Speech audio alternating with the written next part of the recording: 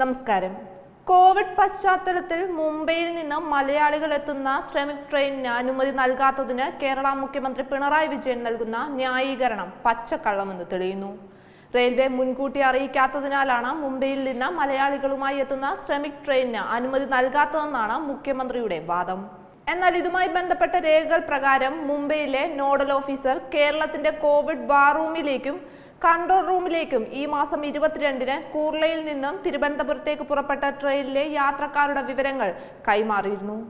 മുംബൈയിൽ നിന്ന് പുറപ്പെടുന്ന ആയിരത്തി ഇരുന്നൂറ്റി എഴുപത്തി ഒന്ന് യാത്രക്കാരുടെ വിശദാംശങ്ങൾ ഫോർമാറ്റിൽ അയക്കുന്നു എന്നാണ് നോഡൽ ഓഫീസറും മഹാരാഷ്ട്ര ക്രൈംബ്രാഞ്ച് അഡീഷണൽ കമ്മീഷണറുമായ സന്ദീപ് കാർണിക് ഇമെയിലിൽ പറയുന്നത്.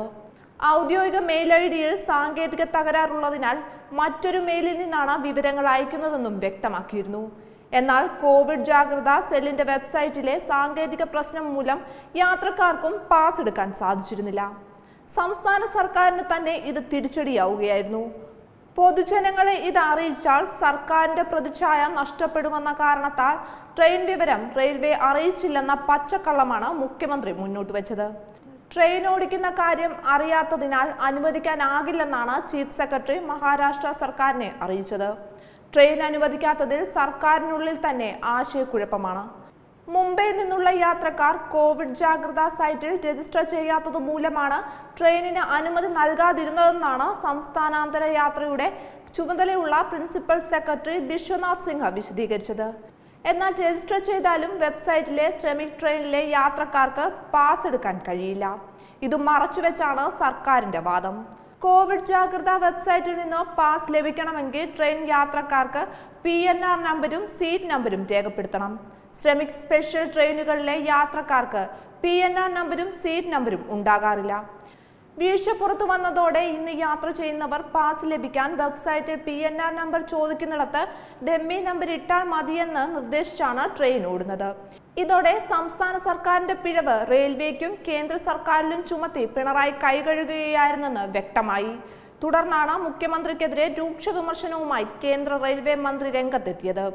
കേരളം എതിർത്തതോടെ മഹാരാഷ്ട്രയിലെ താനെയിൽ നിന്ന് എറണാകുളത്തേക്ക് പുറപ്പെടേണ്ടിയിരുന്ന ശ്രമിക് ട്രെയിൻ കഴിഞ്ഞ ദിവസം അവസാന നിമിഷം റദ്ദാക്കിയിരുന്നു.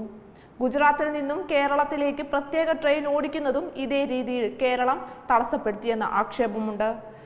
ഇതര സംസ്ഥാന തൊഴിലാളികളെ മടക്കി അയക്കാൻ നാൽപ്പത്തിയൊന്ന് ട്രെയിനുകൾ കേരളത്തിൽ നിന്നും പുറപ്പെട്ടപ്പോൾ നാല് ശ്രമിക് സ്പെഷ്യലുകൾ മാത്രമാണ് മലയാളികളുമായി കേരളത്തിൽ ഇതുവരെ എത്തിയത്. കഴിഞ്ഞ ദിവസം മുംബൈയിൽ നിന്നും ഗുജറാത്തിൽ നിന്നും പുറപ്പെടേണ്ട ട്രെയിനിന് സംസ്ഥാന സർക്കാർ അന്തിമ നിമിഷത്തിൽ അനുമതി നിഷേധിച്ചിരുന്നു. ഇതിനെ തുടർന്നാണ് രൂക്ഷ വിമർശനവുമായി റെയിൽവേ മന്ത്രി രംഗത്തെത്തിയത്. സ്വന്തം നാട്ടുകാരെ കുറിച്ച് ചിന്തയില്ലാത്ത മുഖ്യമന്ത്രിമാർ ഇങ്ങനെ പ്രവർത്തിച്ചാൽ എന്താകുമെന്ന് അദ്ദേഹം ചോദിക്കുന്നു. എന്തായാലും നിലവിലെ കേന്ദ്ര നിർദ്ദേശപ്രകാരം യാത്ര പുറപ്പെടാൻ കേരളത്തിന്റെ അനുമതി വേണമെന്നിരിക്കെ യാത്രക്കാരുമായി വരേണ്ട എന്നാണ് കേരളത്തിന്റെ നിലപാട്. സംസ്ഥാന സർക്കാരിന്റെ വാദങ്ങൾ കള്ളമെന്ന് തെളിയുമ്പോൾ ഇത് അന്യ സംസ്ഥാനത്ത് കുടുങ്ങിപ്പോയ മലയാളികളെ കൂടുതൽ ദുരിതത്തിലാക്കുകയാണ്. വെബ് തത്തുമൈ ന്യൂസ്.